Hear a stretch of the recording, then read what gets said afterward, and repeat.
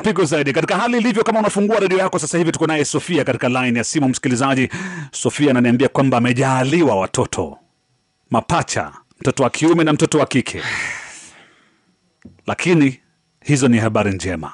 Habari zilizomleta kwenye kliniki ya hali ilivyo ni kwamba last week alimpata mme wake akifanya mapenzi na mwanamme mwingine kitandani mwake nyumbani mwake.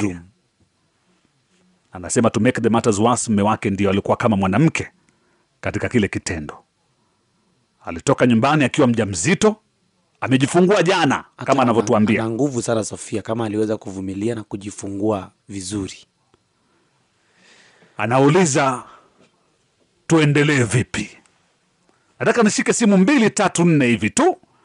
Kwa kifupi, maoni yako na ushauri wako kwa Sofia utakuwa gani? Kwa kifupi 07009360000 ama 0733936000. Milele FM, alo Yaramulele. sema. Amugideo. Ehe, Bungoma County. kwa kifupi kabisa. Aki mama ni nimemhurumia sana lakini Mungu mwenyewe atamsaidia bwana. Shukran sana. Yeye anasema tu kwamba Mungu atamsaidia. ndombi letu hilo.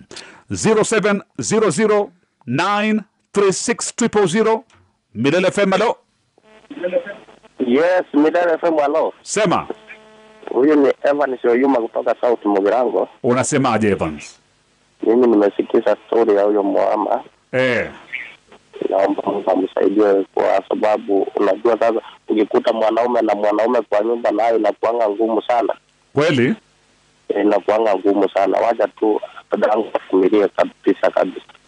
Shukran sana, ndo ombi letu hilo, Mwenyezi Mungu aweze kumsaidia. Wacha tushike simu moja ya mwisho 0700936000 Milele FM, alo Shukrani sana. Hello. punguza redio, halo punguza redio tu eh, punguza redio yako baba. Sema Samuel, huyo mtu amefanya kitendo mbaya sana. tunakubaliana hiyo. Eh, Utamsaidia aje? Yeye amekuja kusema tu huyu mtu amefanya kitendo kibaya sana. Sofia, Eh? ukitoka pale eh, uko hospitali Ah, nilirudi jana jioni nyumbani. oh, rudi nyumbani eh? Eh, Ah, sawa sawa, nafurahi kusikia hivyo. Ina maana kwamba ulija uli, ulijifungua natural eh? eh. That is good. So uko na shughuli gani wewe mwenyewe? Oh, okay, mimi nilikuwa nafanya tu kwa nauza kibanda. Unauza kibandani? Eh, Okay. Um, mzee wako licha ya kwamba ulimpata katika ile hali, eh, bado ndio baba ya watoto wako. eh, Okay? eh, Hiyo kwanza lazima tuelewane. Yeye ndio baba ya watoto wako. eh, Wale watoto haukujifungua peke yako. eh, Kuna mtu aliyehusika. Eh, Sasa yuko na jukumu la kuwalea wale watoto.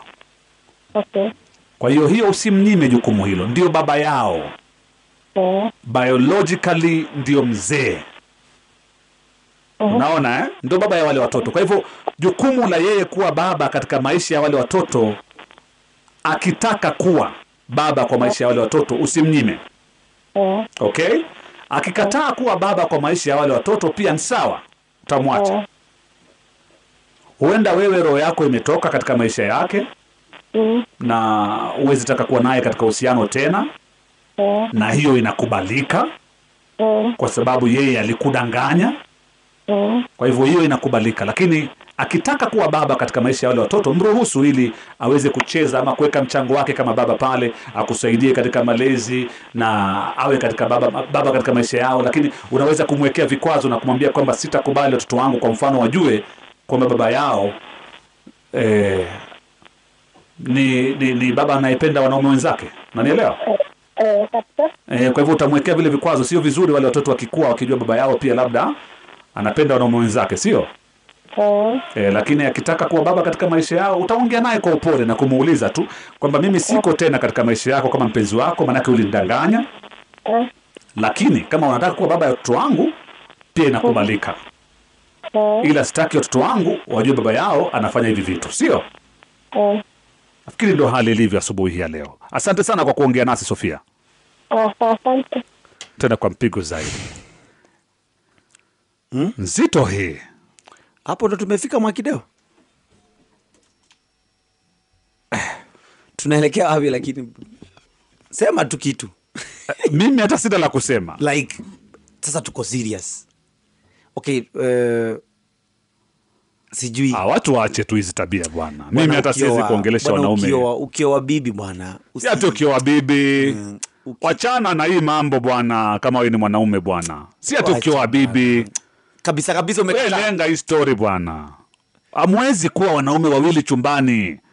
Ilisikika wapi? Ilisikika wapi? Ah, wacheni Wewe, bwana. We wacha alafu wife yako ako na bol ya mapacha zako. Imagine e bwana. pia kwenda wewe usiwe hivyo.